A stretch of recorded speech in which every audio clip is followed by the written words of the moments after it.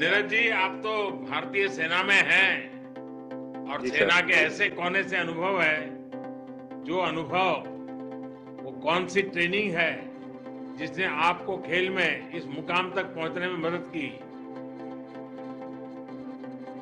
Sir देखो मेरा शुरू से ही एक था कि मुझे भारतीय सेना बहुत पसंद थी और मैं पाँच छह साल खेला उसके बाद मुझे भारतीय सेना ने ज्वाइन करने के लिए बोला। मुझे काफ़ी खुशी हुई। फिर मैंने भारतीय सेना को ज्वाइन किया। और उसके बाद से मैं अपना गेम में फोकस कर रहा हूँ।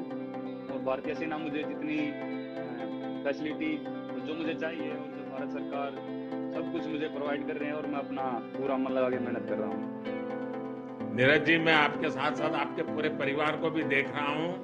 आपके परिवार को भी मैं प्रणाम करता हूँ। नीरज जी, मुझे ये भी बताया गया है कि आपको इंजरी हो गई थी।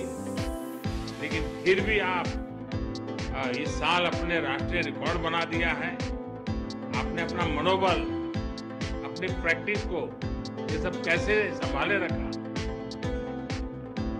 मैं मानता हूँ सर कि जो इंजरी है वो एक स्पोर्ट्स का पार्ट है। तो जो मैंने 2019 में काफ़ी मेहनत की थी उस साल वर्ल्ड क्या चैंपियनशिप आपको तो आपको स्पोर्ट्स की इंजरी में भी स्पोर्ट्स स्पिरिट दिखता है? सर क्योंकि हमारा यही सफ़र है। कुछ साल का हमारा करियर होता है और हमको अ, अपने आप को मोटिवेट करना होता है। तो मेरा एक साल इसकी वजह से खराब हो गया था क्योंकि मैंने तैयारी काफ़ी की थी वर्ल्ड चैंपियनशिप के लिए और एशियन चैंपियनशिप के लिए।